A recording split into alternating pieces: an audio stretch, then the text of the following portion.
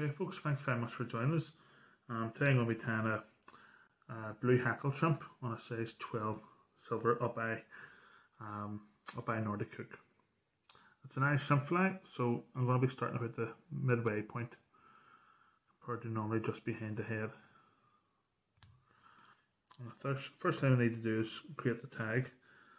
As I said before in other videos, I always have quite a big tag. So where I might be using fine wire for a rib, I would still be using like a medium oval. It helps splay the tail as well. So this is quite a long shank too compared to the Partridges. Um, so I'm just going to work my way down a bit and then three or four turns for the, the tag. Um, tuck that in underneath, keep it neat. And we can start to secure the tag up. Okay, then we'll cut the excess off. And then on the way down, we're in golden pheasant and also a wee bit of flash for this one as well. So I'll tie the flash on first so it's in the core of the tail and not on top of the tail. Okay, so just two strands and then I'm folding them over again. So give me four strands. Then I'm going to be using golden pheasant. So I'm just going to remove the, the fluff. And for size, I want this probably about twice the length of the shank. Which normally is, in terms of the fibres, the fibres are normally a little bit longer than the hook size. So that works out well there and I tie my golden pheasant on at the tip where I do my hackles as well. So I leave about three or four at the top. Here. And then I tie in the tip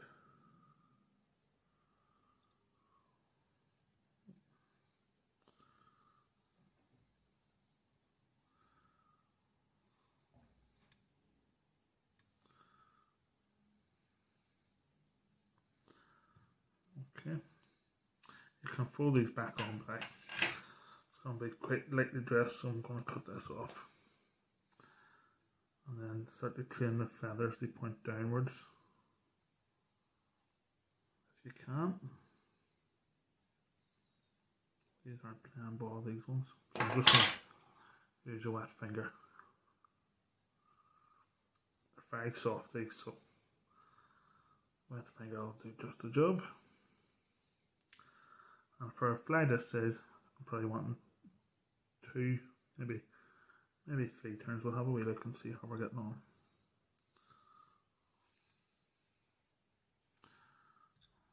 Okay, that's one wrap. It's going to be messy, but it'll be it'll go in a minute. Okay, that's two wraps.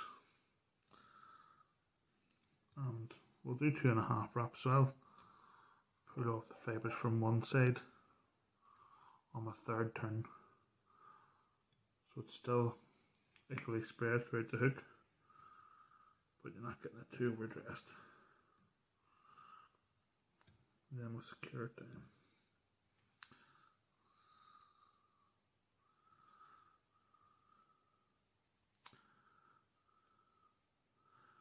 Okay, we'll run up to about the midway point to secure it. cut off the excess and then for the tail and I will just take out the face. And blow up the rear of the tail which will hopefully spread it out nice and even. And then just with a wet finger just make sure that they're evenly spread around around the hook. 360 degrees kind of want. Okay. And the last thing I do is I tie right up on top of that and that'll make it splay against that oval, oval rib. It's also quite a weak feather stock so it means that you're securing it with thread as opposed to relying on the stock itself. So you'll see as I go up here, it's starting to splay a wee bit more now as I, as I get to the tag. Okay. Then the rib for this, I'm going to use, to use silver wire, be a bit more secure than um, than using tinsel. So just a few turns and then the rear of the body is going to be black floss. So let's see.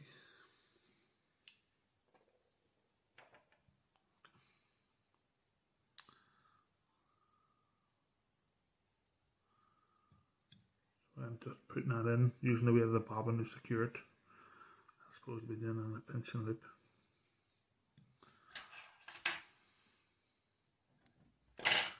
Okay, just trying to level out the body a little bit here. And then you're wanting about the halfway point. Because you want two two thirds front, three thirds um, the rear. But if you do about the halfway point, including the head, you usually get that proportion. Okay. And this is a single strand thread floss, so a few wraps. You can double it. I didn't even think of doubling it. I will secure it there. Just touch and turns as you go along. A couple of turns to secure it. Then again the silver. So we want three or four turns going up there. That's a wee bit too many. Let's see.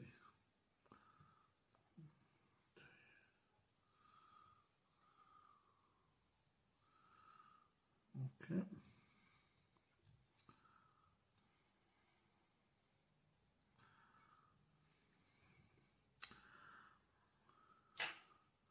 As before of the wire, you can just, you don't need to cut it off and your scissors, you just twist it off. And then you remove the floss. At this point, a wee bit more wax for your hackle here. And the mid hackle is going to be blue. Um, so, uh, personal preference, but I like the fibres to extend the rear of the hook. So, I've picked this especially for that. And then the front hackle will be a wee bit smaller. So I expose about four four fibres from the front after breaking off the tip. A couple of turns to hold it and then fold them back on themselves. Okay. So we've got about four or five turns on double stock there as well. And you can start to train the fibres to point inwards.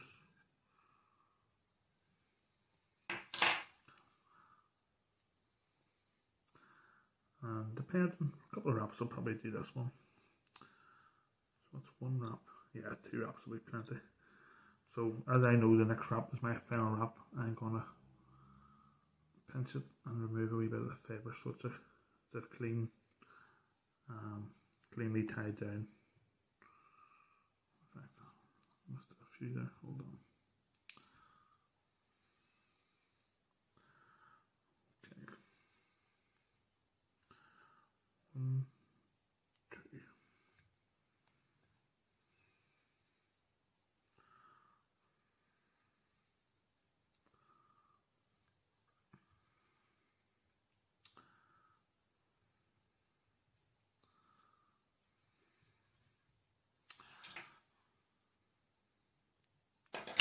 I've went forward on the hook there to secure that, so I'm making the best use of my thread going down again. So as I'm going down, I'm going to secure the rib, which is the same as I said before, which is your silver wire.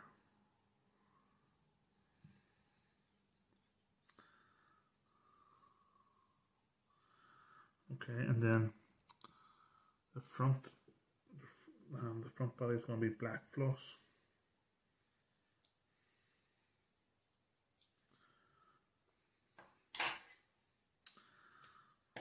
Okay, and again use the bobbin to secure it. Hold on, it's fraying a wee bit there in places. If you find that it's fraying, just run your fingers along and any wee bits just come along, it should all be one unit or one piece again. Nothing worse than starting to tie and starting to fray on the hook. Okay.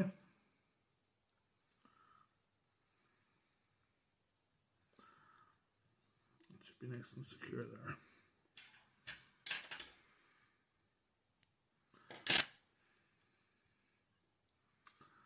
As before, just wind it up, and touch and turns. Sometimes you'll see I wet. Sometimes wet my hands and then turn the floss. Just gives you a better grip and it also means you can twist the floss a little bit if it does start to unwind. I think that's grand there. Make sure there's no gaps. Okay. Three or four turns to secure it. And cut that off if you want the stage or off the rib. And then the rib, again you're wanting two or three turns.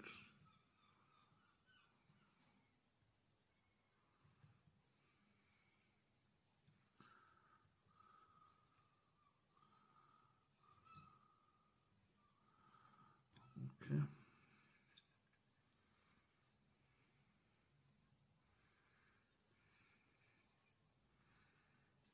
Hold it, hold the bobbin tight and twist. Tighten this face a bit. Okay. And the final hackle is going to be, I can find the final hackle should be white, white badger cock. I'll get another one here.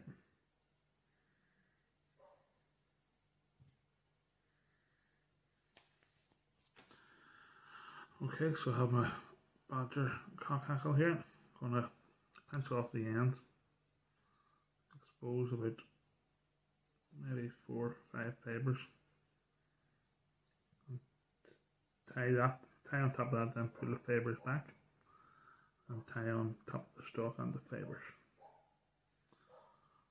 Okay. And then start to crane the fibres downwards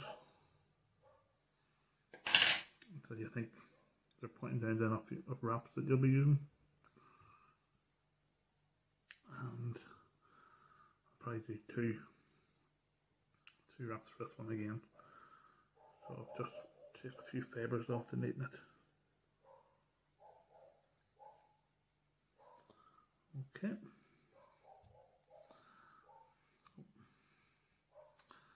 And because I'm at the head, I have a wee bit of space to play with, I can double that hackle back up, make it more secure, and then just pluck it off. That's your fly finished. You can add some jungle cock if you want. So I'm going to put in wee eyes here. This is always the fiddly part of the fly.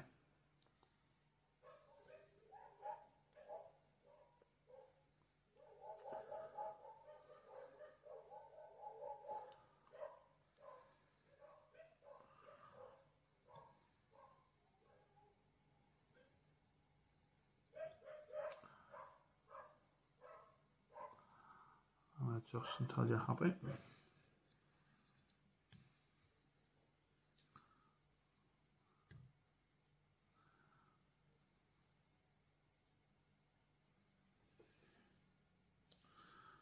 Okay, happy enough with that there.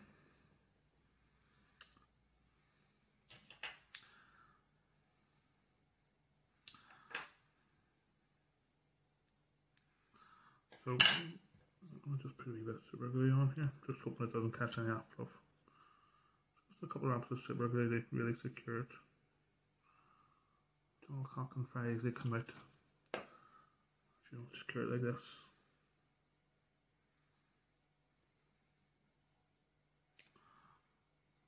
Then what I'm going to do on top of that is I'm going to bend these back over.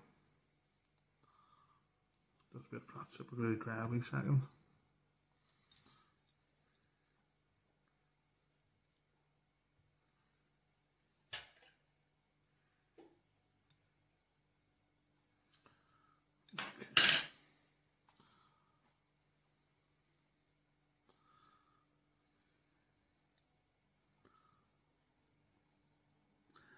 This is me forming a head now, but at the same time securing that those tag ends or those waist ends of the jungle cock.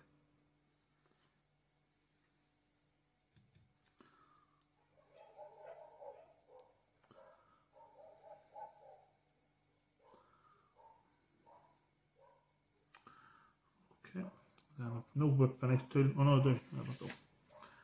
Okay. Finish it off with four or five. whip finishes?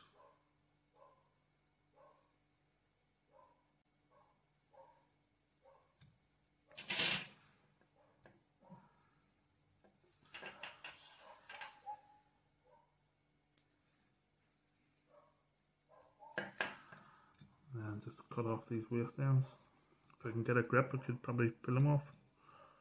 There we go. Because they're tightened underneath the super glue. And that's it folks, that's the blue hackle shrimp. It's a fry I've never tried before, but I like the look of it. Somebody put it up on Facebook there, and I thought I would give it a go. So, hopefully you enjoyed that video, hopefully you found it useful. As always, um, give us a wee like or any questions, give us a shout. And if you haven't subscribed, please hit the subscribe button and yeah, welcome. Um, so until next time, folks, thanks very much and tight lines. All the best.